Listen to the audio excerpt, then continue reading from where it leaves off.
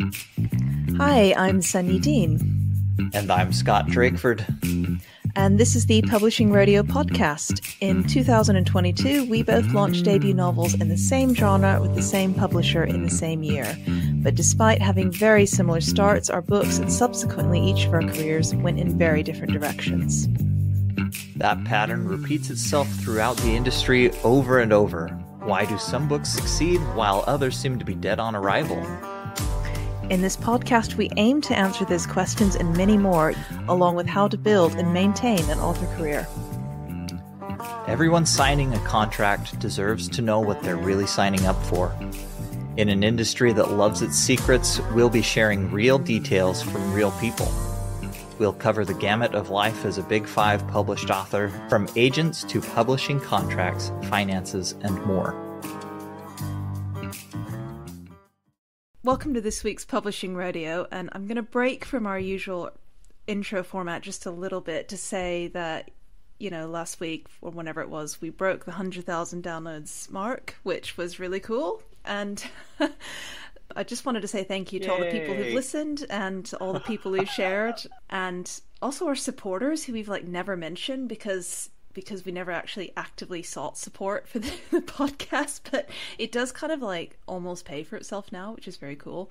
Uh, it means we don't have to resort to, resort to starting an OnlyFans cool. for Scott. uh, with us today, we have Gail Carriger, who has had a really interesting career through YA and other age categories and different genres. And I think actually might be best if we let you introduce yourself, Gail, and um, have I said your name right? Sorry, I'm suddenly panicked. It's like Jill. That's okay. It's it's funny. I I chose a pen name that I thought would be easy to pronounce, and then nobody pronounces it right. My real name is impossible to pronounce, so that's one of the reasons I have a pen name.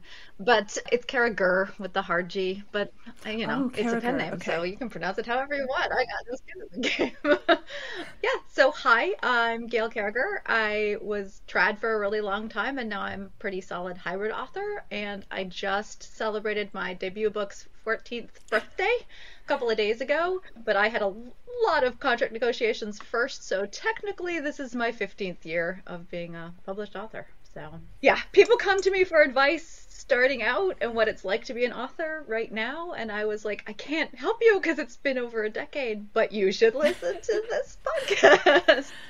Uh, because that's why I started listening is I was like, I can't give advice on a thing that hasn't happened to me in a really long time. And then you started to give me PTSD because I was like, nothing has changed. so yeah. Yeah, it changes and it doesn't. Uh, so how did you get? We hear that a lot. How did you get into publishing, and what was kind of your experience with that first forays? So I'm one of those uh, writers who always wrote, and I always wrote fiction, but I actually grew up in a kind of hippie commune sort of situation with a lot of poets, and so I thought, hmm. well, we don't make money writing. That's not a valid career path. We're never going to do that. Uh, we'll just do this as a hobby. It'll just be fun, fun time. My background is actually as an archaeologist. Mm. So I have a, an MA and an MS. I'm a materials analyst by training, which wow. means I'm a social scientist. I have a lot of background in um, stats and research and um, material science and that sort of thing, which I'm mentioning because my obsession with data and data analytics has really helped my career as an author. Um, my uh, delight in spreadsheets, for example, turned out to be a, a, magic superpower for a writer. So that's where I that's my background. I was um, most of the way through my PhD and pretty much a full time academic adjunct faculty and teaching and stuff when my first book got picked up.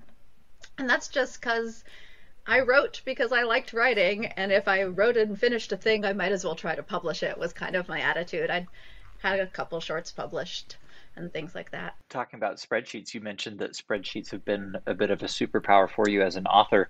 What do you mean by that? You know, what have what have you used your stats and spreadsheet acumen for in this my, world? My magic power. mm-hmm. This is something. So one of the things I'm very sort of thoughtful about uh, and careful about over the years has been my brand. Uh, hmm. So I don't really publicly talk about teaching or the background of publishing. Like I don't, I don't have my own podcast like this one. I, I only appear on other people's podcasts. So I actually had the reputation for years in that I, that I didn't teach, I didn't talk about craft of writing, all this sort of stuff, which I've slowly been changing over the last couple of years. But it's mostly because when I am on social media and online, I would like to interact with my readers. That's mm-hmm. what my time is being spent for, not my fellow authors, much as I love you, um, my job online is to promote my books and my brand and talk to my readers. So um, I've been very careful about not associating the two. So that's sort of the starter. So I, but I do love data, and I have been collecting it from the get go.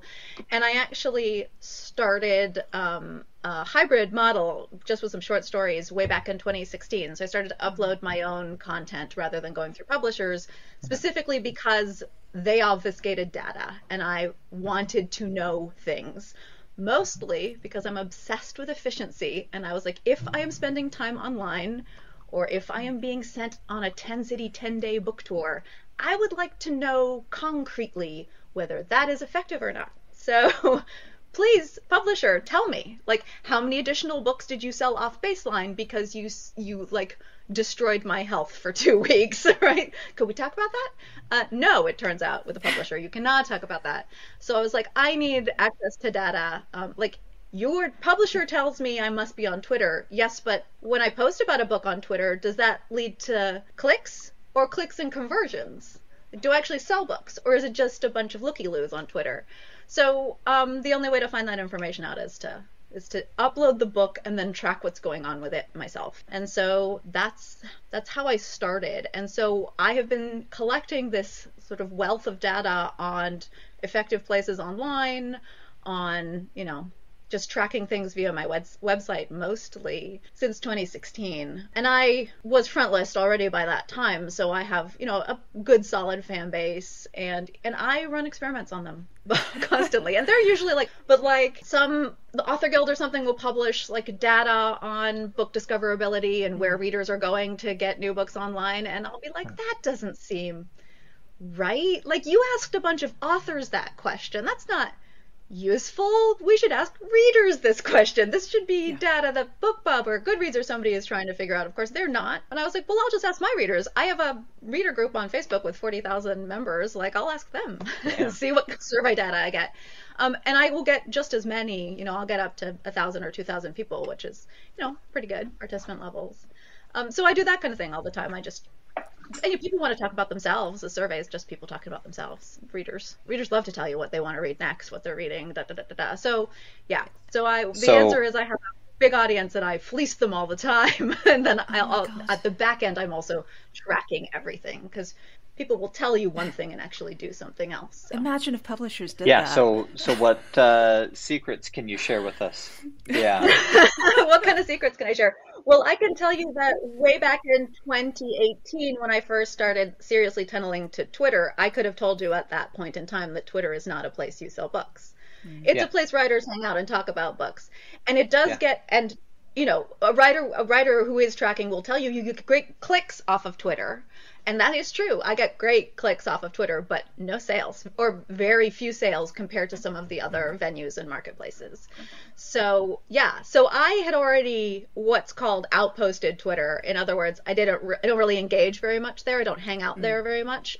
In like late early 2019 i was like twitter's not useful to me i mean you know it can be fun to talk about stuff on twitter but it's not useful so i had fled already uh, so, so when everybody else i was like yeah it's Twitter's not good. It's not a good.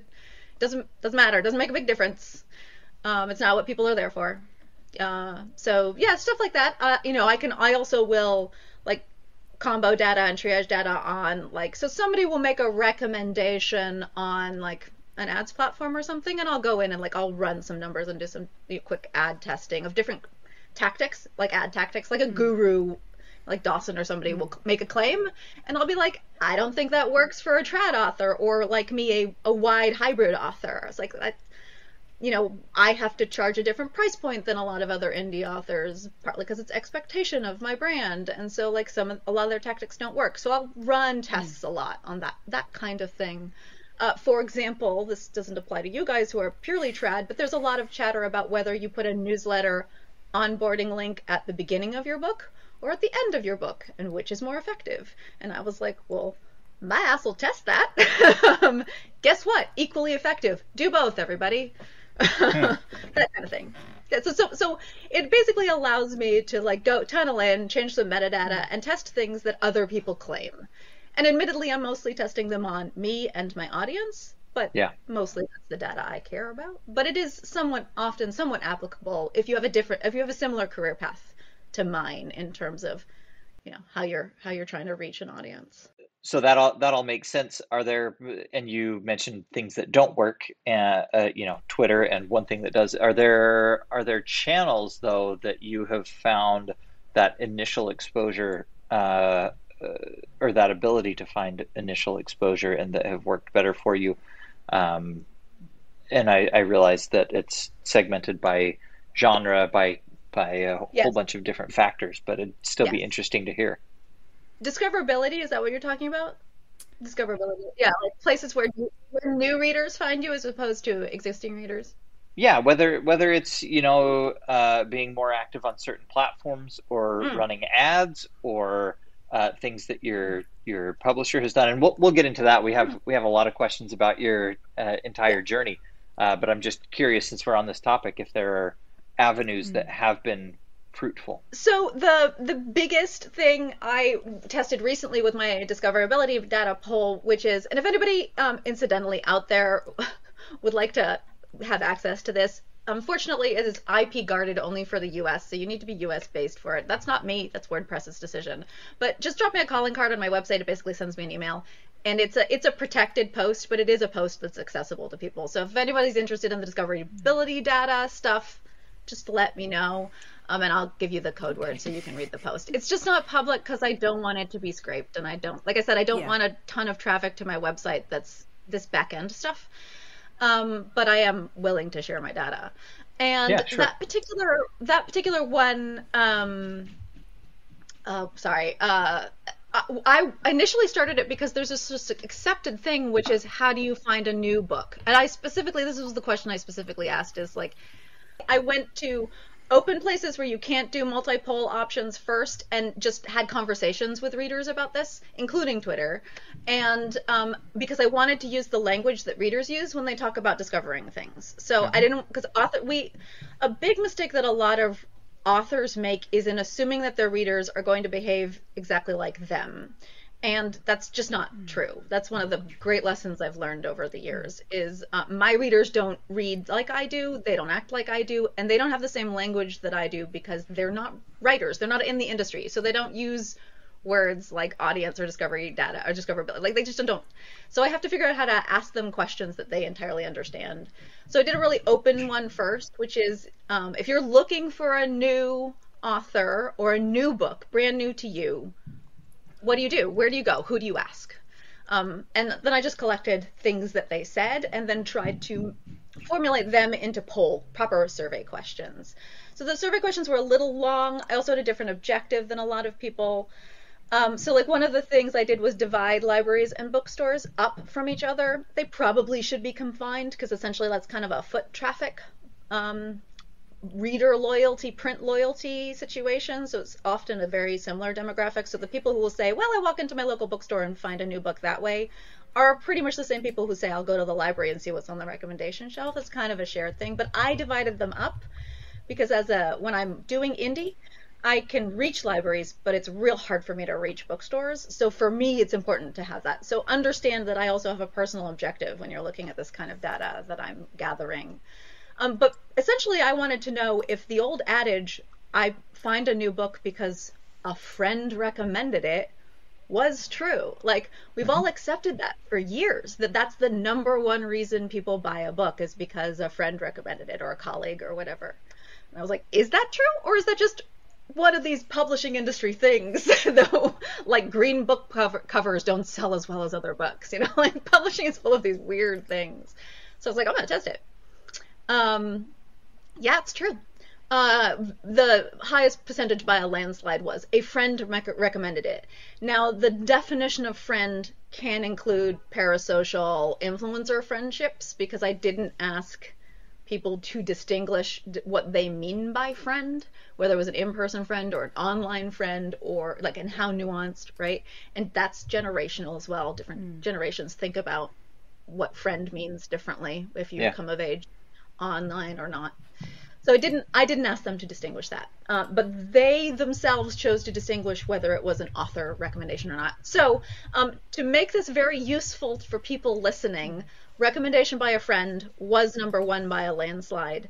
Then, shockingly, coming in just sort of after that was recommendations by an author. So not a hmm. cover blurb, but an author actually, and not a retweet of your launch post but an author actually on their social media or in their newsletter saying, "Oh my god, I read this new book and I loved it." Yeah. So that's a really good tip. So if you have an author who you love and who agreed to blurb your book and actually really liked it, encouraging them to not just blurb it, but to actually talk about it in some concrete way, um, is a really does seem to be very powerful. So that was one big takeaway for me. And then um, a surprising number said it, within bookstores and within the library.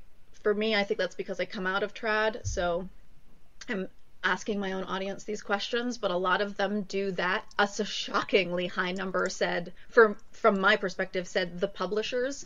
Uh, social media feeds. So if your publisher is like specifically Tor is very popular, it turns out. Um, so, you know, those are the ones I can remember off the top of my head. I encourage anybody who's really interested in this just to drop me a quick email and I'll send you the um I'll send you the the blog post and the yeah we'll we'll, have, we'll post up a link towards it and the in the kind of the show notes and stuff at the end. Um, but yeah i was wondering actually if we could before we get too much into the data if we could go back into kind of how you did get picked up and what that story was like for you. Mm, yes. We jumped. Yes. Scott got excited. We jumped ahead. Um, so the story is Soulless, and this is back in 2007, uh, was one of when Tor still had open subs, among other things.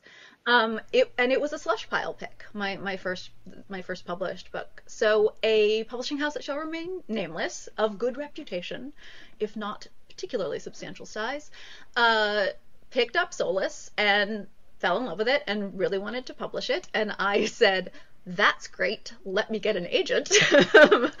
so I went through the process of finding an agent, which was interesting, uh, but it landed me with Kristin Nelson, who is still my agent 15 years later, who I love. Um, if you're going to have one relationship for the whole time, having a good agent is is optimal as far as I'm concerned. Um, so uh, she went into negotiations with the first house that had interested. So essentially, I went with an offer on the table. Uh, it was not a very good offer. It was like three grand or something like that.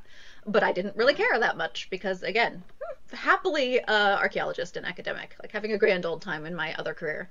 Um, and so I was like, okay, go negotiate. And that negotiation turned out to be an absolute nightmare. Um, now I remember you guys talked with a couple about this, but um, in my case, it was the option clause, which is sometimes called the exclusivity clause or whatever it is. But essentially, I'm a full time academic. This option clause is for anything I wrote under any name. That's way too broad. And I literally was like, I cannot sign that contract. I mm. will not sign that contract. Um, and the editor was like, but but we don't. I was like, I'm an academic. I will be publishing white papers. I have one on submission right now. Like, I can't. You want my nonfiction. You cannot have my nonfiction. And the editor was like, Well, we don't want it. You don't actually. I was like, It says in the contract I have to give it to you. If you don't want it, exclude it in the contract. And they were like, Nope, it's the boilerplate or nothing. And I was like, Well, then I won't sign. Uh, and this took six months seven, eight months. Like it took for this was just insane. And my poor agent, brand new agent, is getting like screamed at by this editor, literally. Um, and, and Kristin's pretty like baseline, nice lady, Midwesterner, and she was like, "This is ridiculous." And I'd be like, "Oh, if she's screaming at you, she's probably gonna scream at me." So let's. I'm not married to Liz. And, and eventually, my agent was like, let's just see if anyone else is interested. Let's just see. Now, you're not supposed to do this when you're in the middle of negotiations, but I was like, yeah, let's just see. And it turned out others were interested in this book. And it's a weird, funny little multi genre book that probably would not get picked up now. Um, but at the time, it, it kind of sat in a niche that was open, which is mm. comedic sci fi fantasy written by a female voice, like with a kind of feminist bent. Um, and, uh, and historical and a bunch of other weird things. It's steampunk essentially. And um, yeah, and the other houses were interested in it. And eventually we ended up just going with Orbit.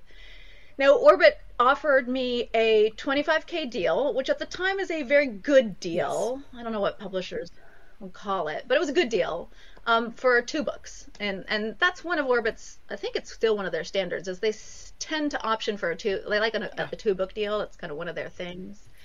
And still 25k um, as well. Yeah.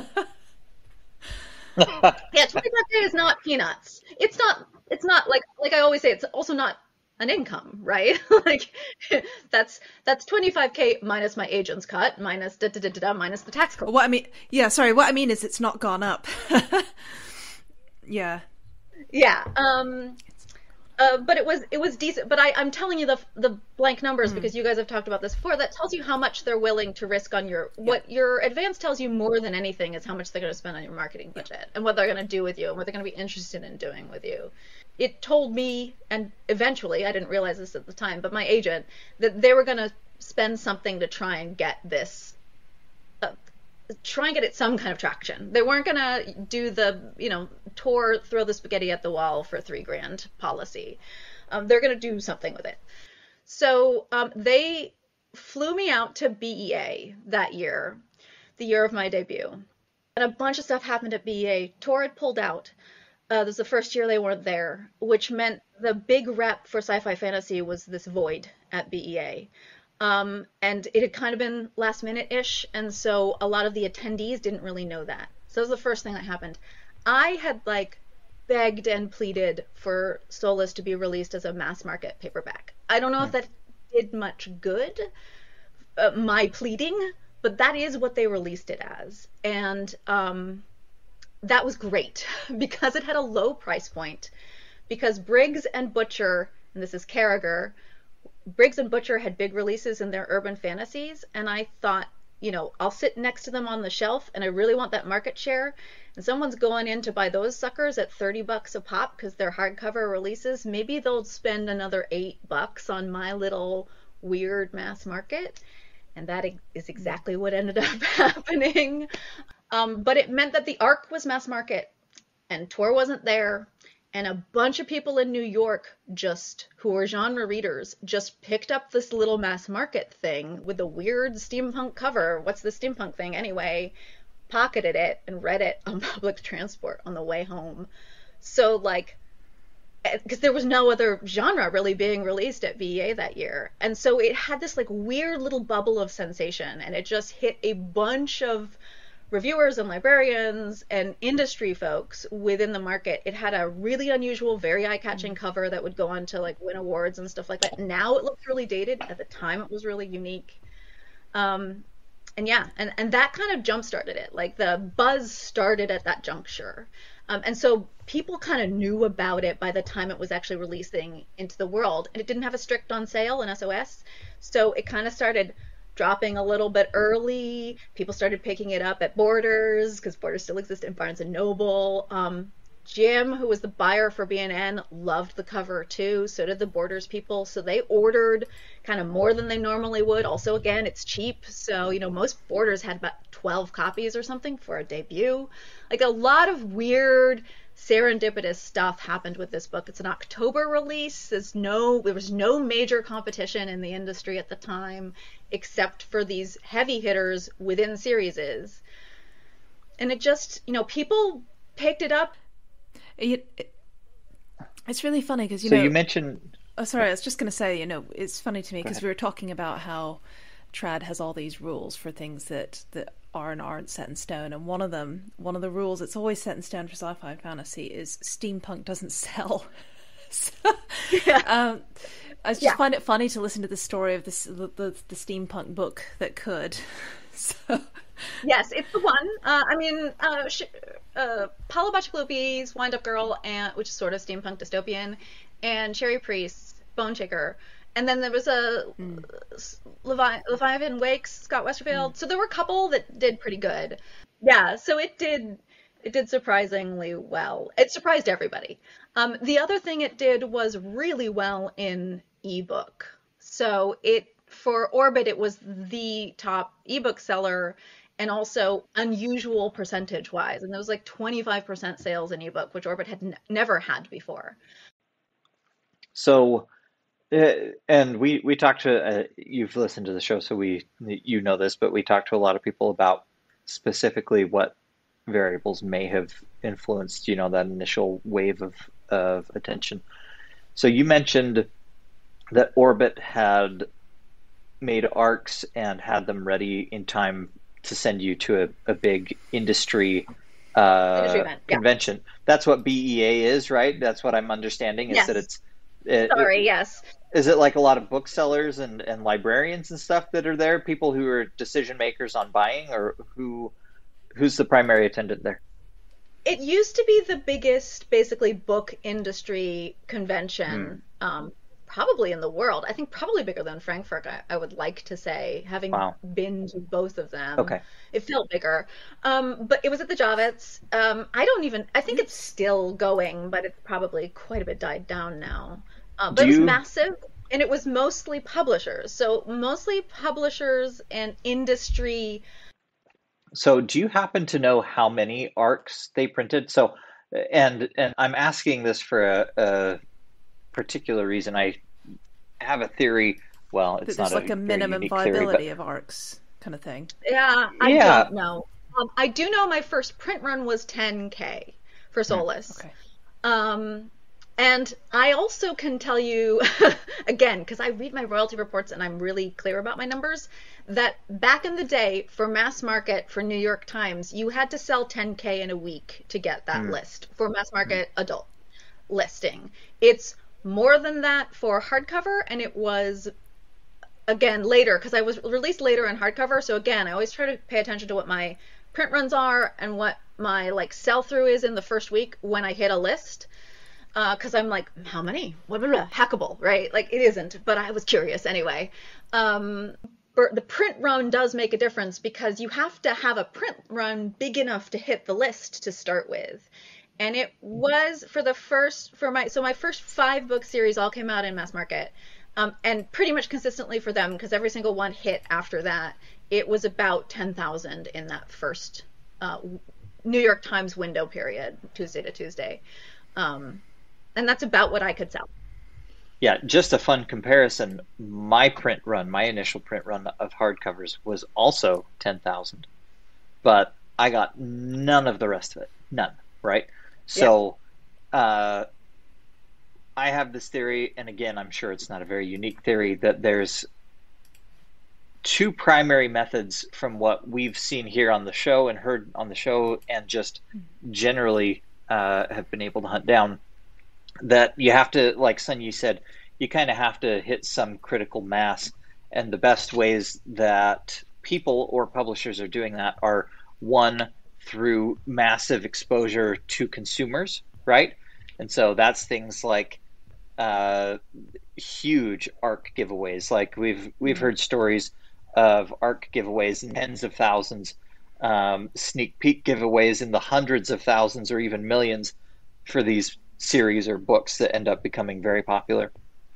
Or more often, it's effort put into what I would call um, leveraged distribution and pre publication hype that uh, affects that leveraged distribution.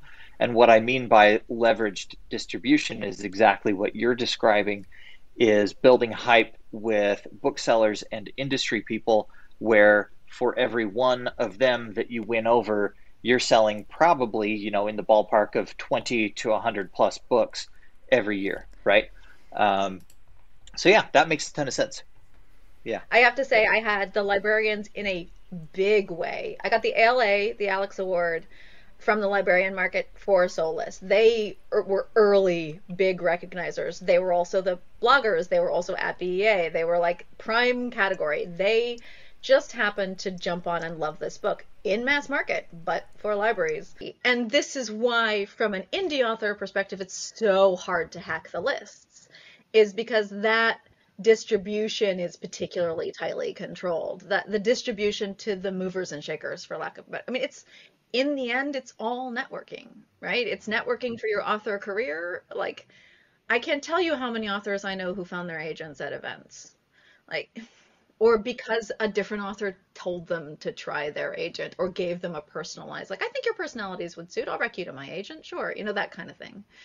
Um, so yeah, it's a lot of this is networking. One of the you know, people, newbie authors will come up to me together and, uh, uh, to, to talk, you know, early career, and I'll be like, I don't know how helpful my advice is because it's been so long, but I can tell you one thing, which is make author friends.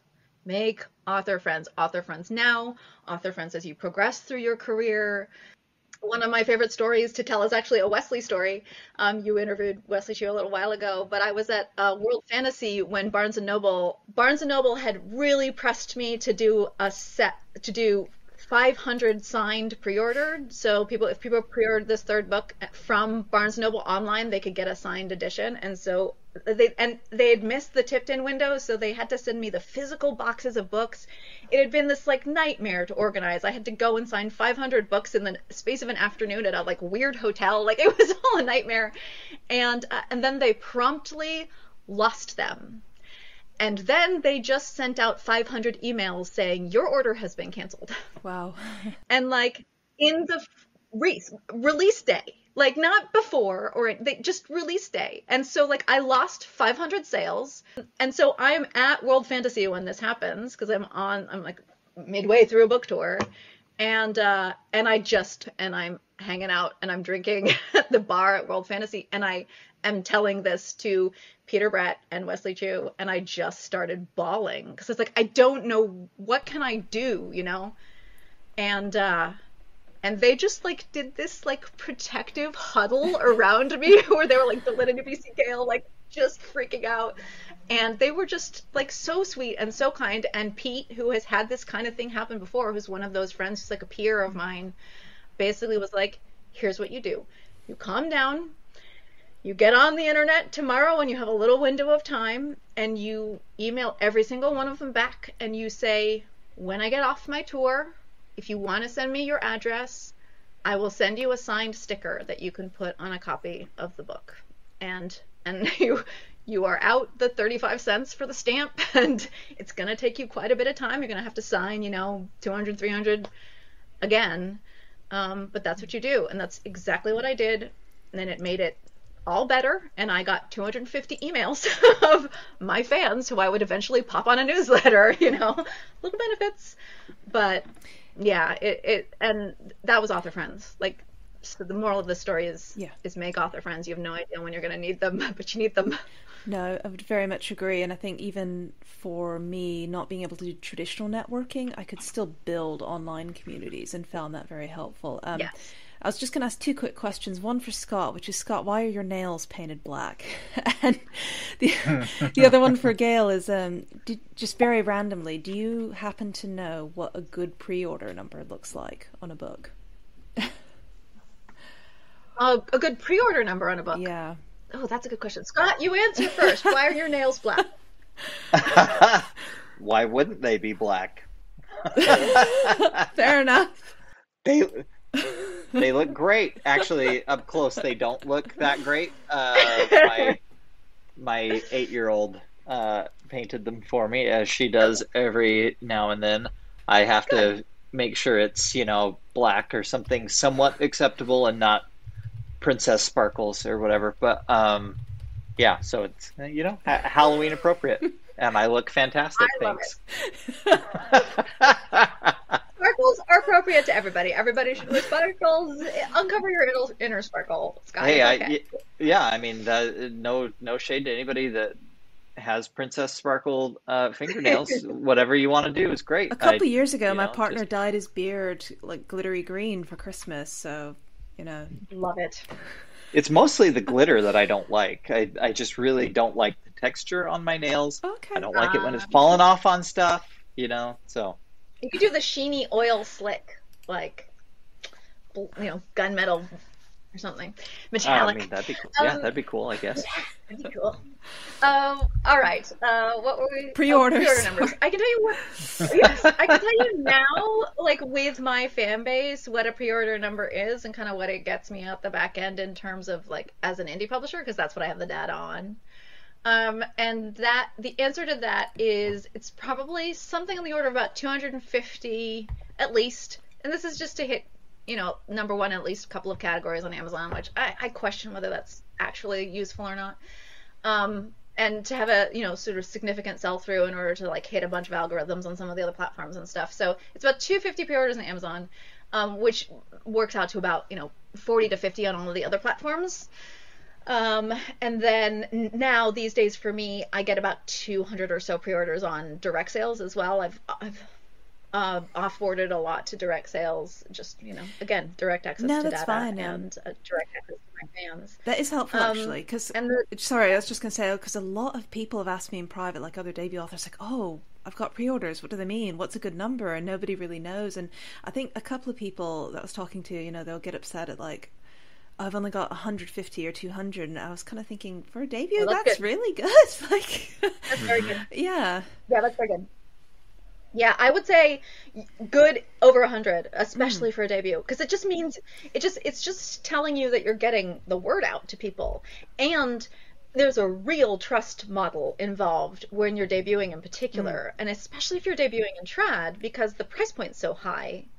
And so, um, yeah, those pre those pre-order numbers are excellent because it, a lot of readers, and I get this, you know, they're just not going to take a risk on a newer author that's a very don't. expensive book. Um, they're definitely not going to pre-order. Yeah, no, I, I don't. Like, I wait until there's at least a sample I can read first, or it's in the library and I can like check check it. Like, I just, I mean, partly that's because as a writer, I'm pretty invested in kind of the flavor and style of the author's voice, and there are some author voices that just really turn turn me off, and I'm just not going to bother. Um, so, yeah. Uh, I think people just dream big. Yeah. They do. You you do. That's true. Um, but yeah, lower your expectations, Yes. everybody. yes. Yeah, and very quick. Um, one of the things that you mentioned on your, your list to talk about that I was kind of interested in was selling the film rights under tight options and what that story was involved and was about. yeah. Yeah, So this is really interesting. You talked to you talked to people who had what sounded like wide options and stuff, and then you, you, Scott, are you going to mention the turning down the deal? yeah, that's specifically what I want to hear about is the that note you have on there. So go for it. Essentially when they option your book they're optioning the rights to the world and the characters not really the story. This confuses people a lot which is why when your favorite book gets optioned you can't expect it to be exactly like the, what was written most of the time. So during, again back in 2012 when steampunk was on its heyday this is the story scott wants uh, sony approached to option the finishing school series. And uh, it was a million dollar offer and uh, because the finishing school series had hit new york times twice already in hardcover. They were doing really well. That is the series that i got a six figure advance for. So you know they were throwing a ton of guns behind it. It was the heyday of steampunk. Everybody was excited by this new movement the beauty of it everything you know so on and so forth um, and so we were negotiating, and I was like, well, for a million dollars, I'll be a little less, a little bit more relaxed. But the previous series was already under option, so they we had to have some negotiations anyway.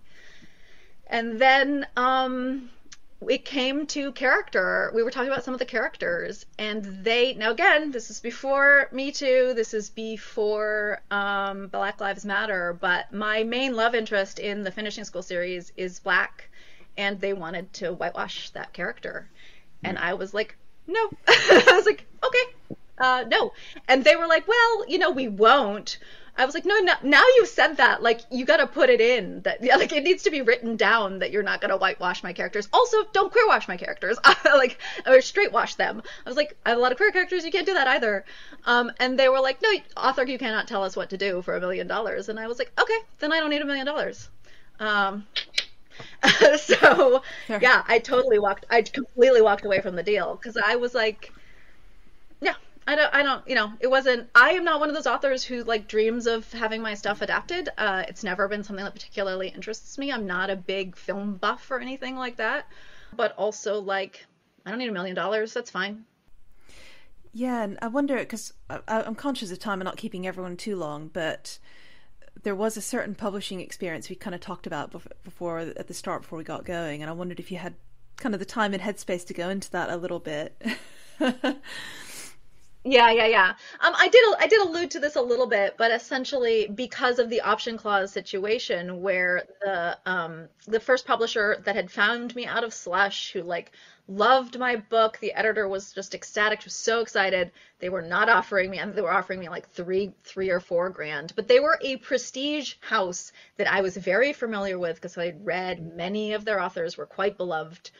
She called me. I was at a coffee shop writing or working on correcting papers or something, and uh, like I saw the 212 New York number on my phone, and I was like, "What?"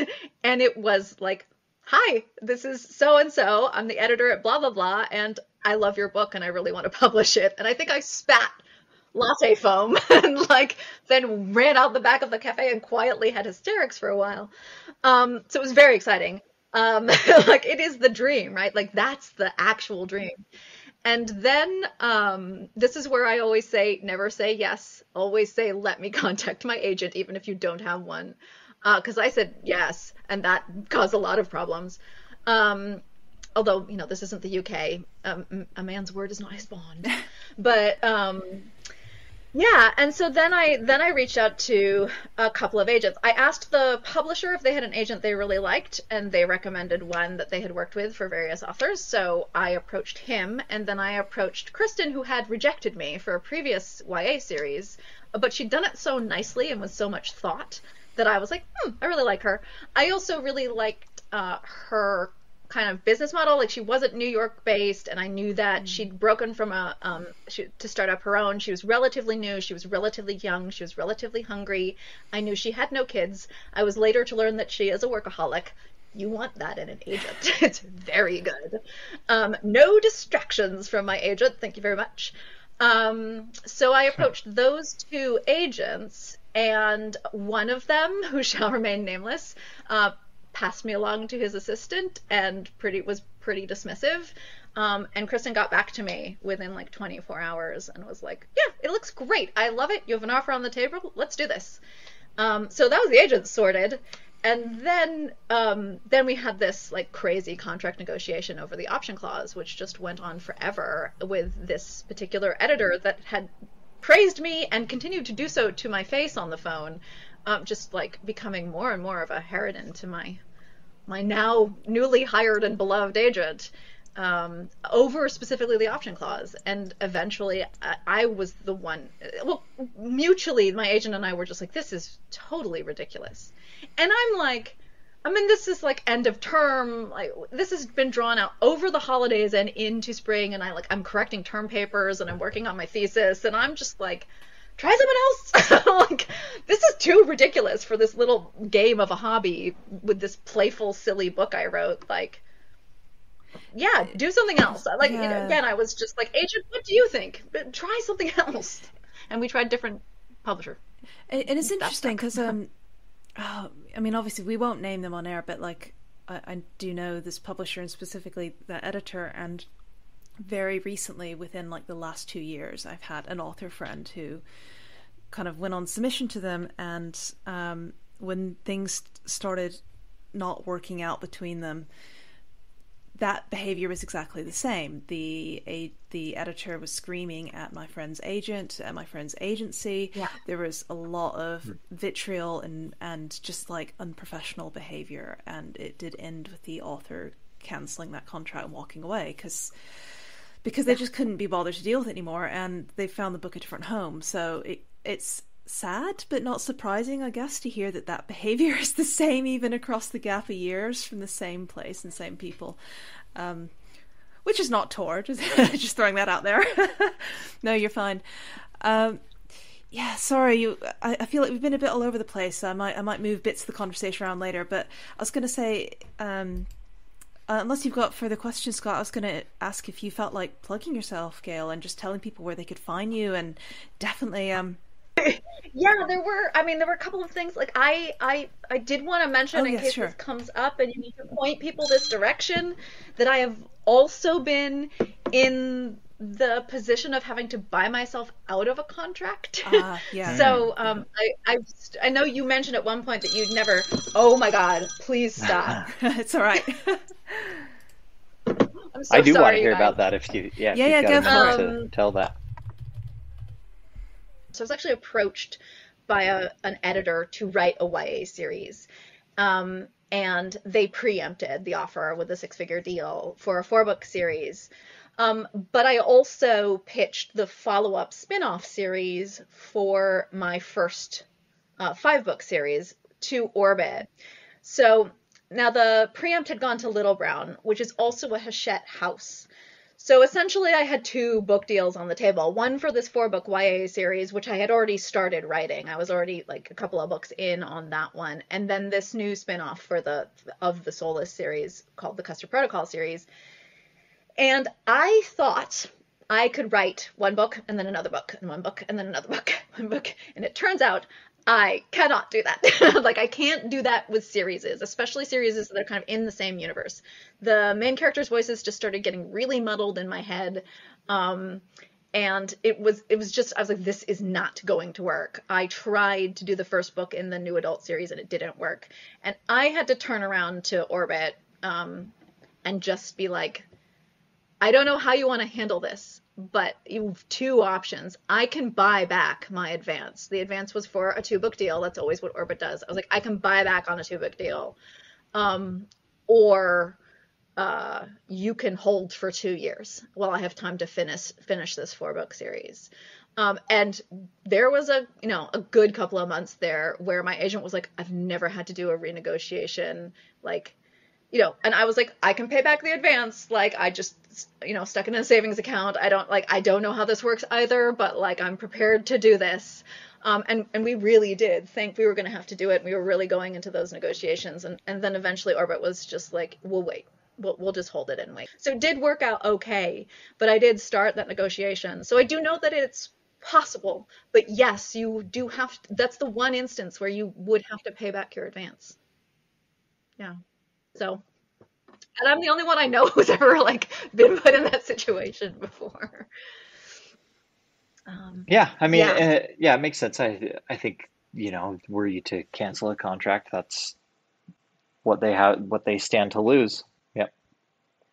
yeah, and then that that last series was a nightmare series. That was a series where everything that they'd done right with my first series, they did wrong with that last series. They released it in hardcover. They charged too much for the ebook.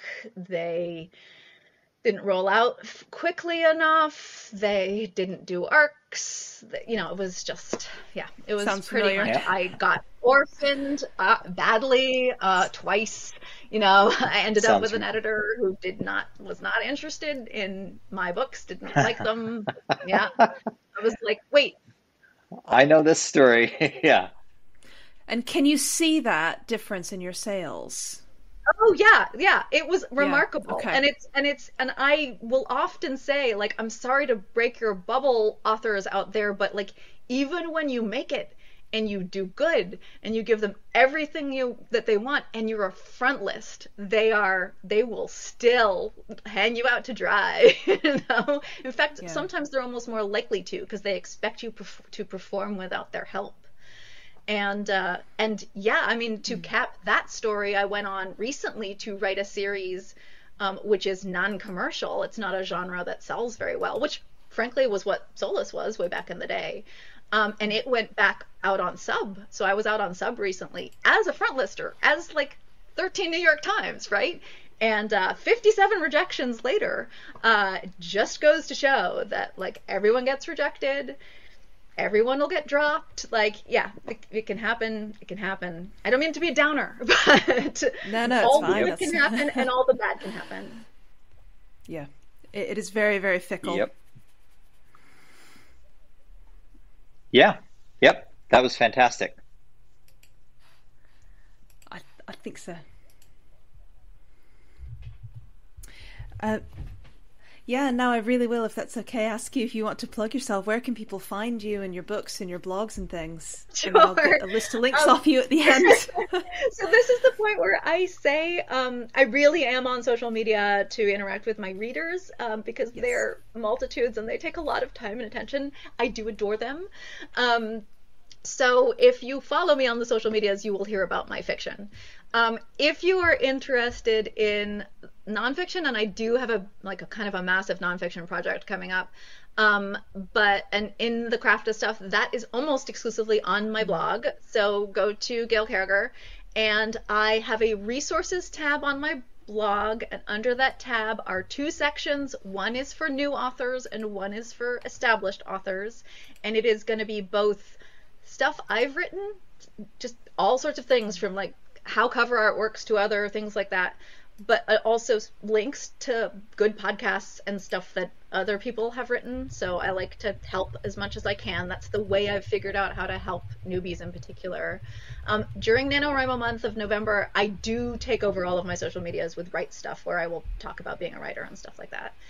Um, yeah, so go to my blog is probably the best resource that I have. The nonfiction project I have coming up is called Going Hybrid and it is how to move from traditional publishing to self-publishing without going crazy. Um, and it will have checklists cool. and worksheets and all the things. so, um, if you are one of those authors who is thinking about that as a possible career pivot, um, the book is coming. I promise. it's it's really coming because um, I've been pretty successful doing that. I make uh, as oh, much wow. now as I did when I was a New York Times bestseller, and uh, no way. And 80% of my income is self publish. So I made, yeah, and I did that in five years. That's how long it took me to, to make that transition. Well, it took three years to do the complete pivot, um, but I gave myself five years to make that transition. So it is possible. You can do it, it can be done. Um, yeah. So yeah, no, find me on the website. So yeah, and if you if you do want access to any of the back end like okay. data kind of stuff, um, just again, my website has a Perfect. has a little contact page. You just drop me a calling card. It'll no, be that's great. Thank. maybe a little while. I'll be in Thailand for a month, so I might be a little slow to respond, but I promise I'll get back at you. That's okay. I'm I'm always slow to respond these days, and uh, yeah, thank you very much, and especially thank you to both of you because my I'm just so spaced out. I had like a two hour Zoom call earlier, and now I'm just like.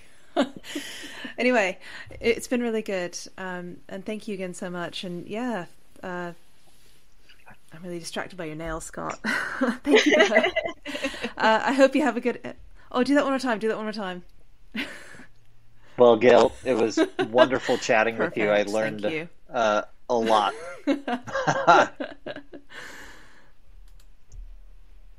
Thank you. thanks for um yeah. yeah. thanks for allowing me to press you into having me on. Um yeah, and and I'm I'm glad to to talk about anything. Glad to help anytime.